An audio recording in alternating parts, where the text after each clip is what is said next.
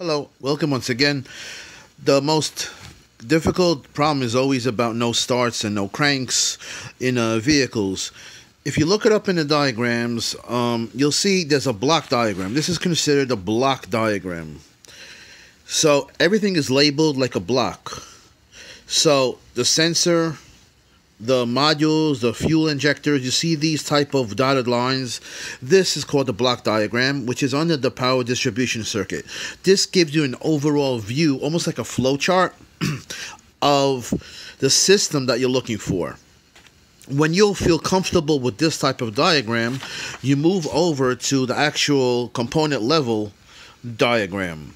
So let's try to work on first the block diagram. Well, first one before the block diagram, actually, you're going to see a battery. We know the symbol for a battery. We know it's going through a red wire, and then we're going through a, a red wire coming into the fuse. Now, the battery fuse, which is 175 amp fuse. That's the highest rated fuse. Now, where is it located? Let's say I want to try to find this fuse. Fuse holder right of radiator. That's the location for fuse, the battery fuse. Okay, so in this type of diagram, it actually tells you the location right next to the component, which is very convenient. Now, if we follow the arrow, we're coming out of the fuse. So voltage-wise, how much do we have always at the at the positive terminal of the battery? We always have 12 volts. How much do we have going into the battery? We should have 12 volts. What what tells us that we should have 12 volts because this is just a wire. this is just a wire. So therefore, we don't lose any voltage across the wire. 12 volts here, 12 volts here. Now, the output of the battery fuse should also be how much? Should be 12 volts. What dictates that? Because the fuse has no voltage drop across it, no loss across it. We go in with 12 volts, we come out with 12 volts. Now, most important, we go into we go into this wire, which is the red wire. We come to something called a stud. This is the symbol for a stud. We go into another fuse, which is ignition A fuse, 40 amps. And eventually this feeds the starter relay for the starter motor. Okay, so we're going through two fuses, remember that. So the output should be 12 volts. What should be the input of this fuse?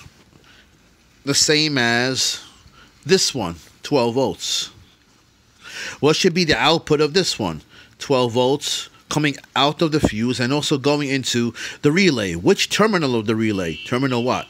Terminal 30. So let's go over this. From this point to this point, I should have 12 volt, 12 volts. Okay? So in other words, we're covering two fuses at one time. If I go to this point, I can measure 12 volts here at the relay or at the output of the the fuse, which is ignition A fuse. If I know I have 12 volts here, what does it tell you? This fuse is good.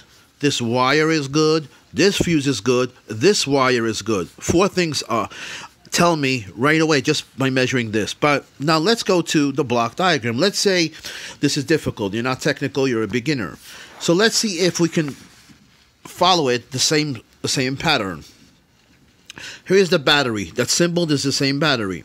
Here is now battery fuse. Now notice on the block diagram, where is the power distribution?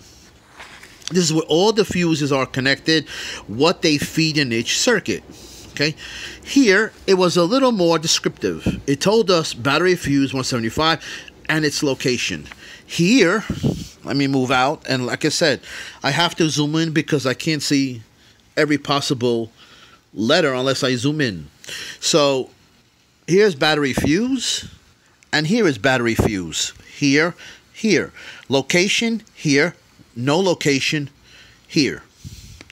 Now we go the same way as here. We're going to, we have to make our way to what? To ignition A fuse. We come over here, and sure enough, ignition A fuse.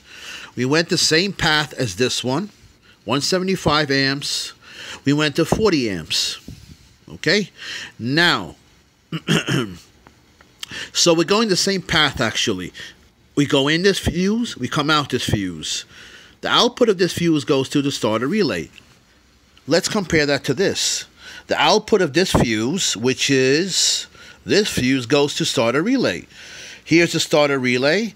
Here is the starter relay. But it's not a symbol like this one. What is it? It's like a block diagram. So this represents what? Represents this whole relay. Okay? So it's a little easier because you're not breaking it down into terminals, the the the control side or the load side. It's just you're just seeing the block diagram of it. The output of this goes to what? A start, ignition, ignition switch, and then it goes to the various sensors, fuel injector that it's feeding. Okay, so how do we go from 175 amps to 40 amps? So obviously, there's another path for this for other current to flow, which is why because there's another path here also to ignition. The ignition over here, as you can see, it's feeding other circuits, and those other circuits require more current. This circuit, which is what, which is going to the starter relay, which is one of the points, requires 40 amps or less. Okay, the other 135 amps is going to other circuits. Okay? So this is the diagram, and let's do the same thing. Same concept. Well, how much do we have always at the battery? 12 volts. You're not going to have 12.6 volts in a cold day. You're going to have maybe 12.3, 12.2. Right now in the Northeast, it's the coldest of weather. So you could have maybe about 12.2, 12.3. Is it good enough to start? Yes, it should be good enough to start. Doesn't matter if it's a four cylinder, eight cylinder. Depends on the cold crank amps. The higher the cold cranking amps, in zero degrees, the better chance you have of cranking it over, that engine over. So it's not just a factor, a variable of 12 volts, but it's also cold cranking amps is the main issue.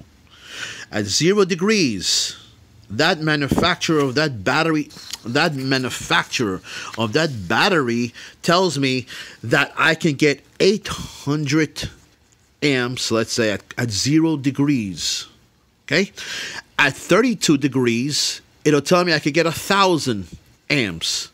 Am I pulling that much? Well, you have to understand there's an inrush current. When you first turn on the key, there's a peak amp current. Okay? When you hold the key, it settles down and then you then you have something called cranking amps. So from the peak amp or from the rush current, it goes down to the cranking amps. Okay, so it could go down from 500, 400 to about maybe 300, depending obviously how many cylinders. Obviously, the more, the more you will pull. Okay, how do you determine that? Okay, cubic inches. Let's say, let's say you have 256 cubic inches. For every cubic inch, you will require the minimum, the minimum of one amp of current from the battery. So let's plug it in. If I have 256 cubic inches, I need roughly at least at least 256 amps, cranking amps. That's without the circuits. What about all the other circuits? The modules, the ignition coils, and all the fuel injectors, the fuel pump, and all the other things, obviously.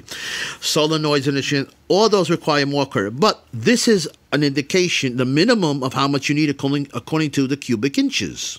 Okay? If you have 300 cubic inches, I need at least 300 cranking amps from that battery. You might need 500, 600, but this is just an indication. Let's follow. So we have 12 volts here going into the battery, battery fuse. If this battery fuse is good, how much should I measure on the other side? Remember, we don't lose any voltage, so how much do we have? 12 volts. How about on this wire? We have two wires that's being split. 12 volts on this side. How much should I have on the other side, regardless of which wire I am measuring? 12 volts. How about the input to where? The ignition A fuse. How much should I have here? 12 volts. How much should be the output of this fuse? 12 volts. How much should I have going to this blue wire, which I actually drew blue, to the starter relay? 12 volts. Same concept, same idea. Okay, now let's take this a little further for this one. one fuse, second fuse. Going through what? An ignition switch through the start or the run position. I'm in the start position. Okay, so this is closed in this position.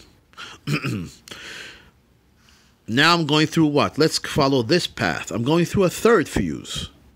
So follow this. I'm going from 175 amps to 40 amps. I decreased it even more.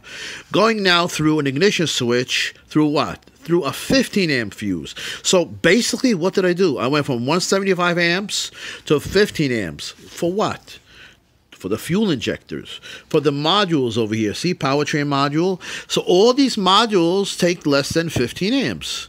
How much you think your headlights take? About 12 amps, 15 amps. Equivalent to this. In this case, a crankshaft sensor, right? In this case, the central sequential fuel injectors, six injectors. In this case, the ignition coil in this case, also the power train control module. In this case, all of these branches are being fed by what? By this fuse, which I should have less than 15 amps. Okay? Your headlights are taking already that much when they are on, the bulbs. How do I know? How can I convince myself that this all this path is good in one shot without measuring every single point? Now, if you said you should go here, you're wrong. If you said you should go here, you're wrong. If you said you should measure here, you're right. let's let's analyze. I look at the diagram. I analyze the diagram. I would only know that there are three fuses in series. excuse me, with the ignition switch. I would only know that three fuses are involved. An ignition switch in series, let's say, and these are in parallel by looking at a, a, a, a diagram. If I don't have the diagram, I have absolutely no idea that this is connected to this, this is connected to this, this is connected to this. Let's go back to my original question. I want to find out this one, one point of measuring with my multimeter. How can I do that? One fuse, second fuse, ignition switch in what? The start position and this one. So the input of this fuse is where? This one. I should have how much? 12 volts. Where's the output? Here. 12. Output is where it's going to the loads. These are the loads. Okay.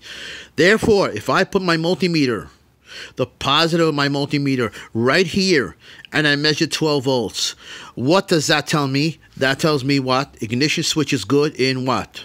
The run position or the start position. What else does it tell me? We're going to check him off. He's good.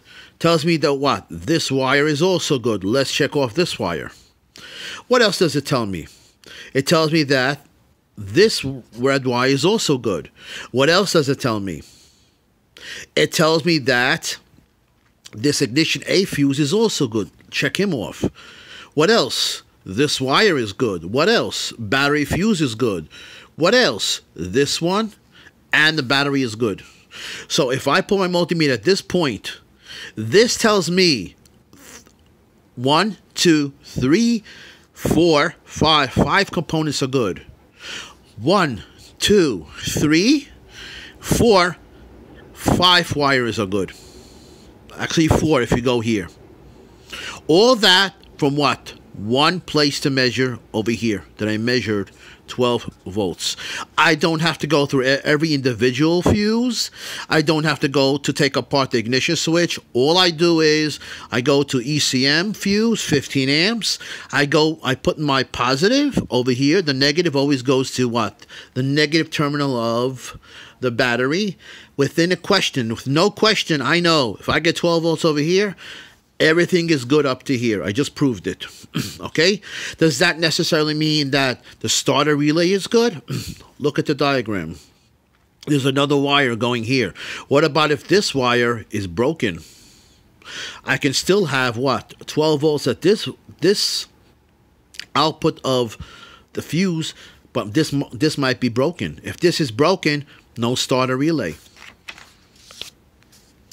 If this is broken, no, if this wire is broken, no starter relay, no 12 volt SWAT to the starter relay. That's one way I could do it. The other way I could do it, The other way I could do it is a, an ohms test.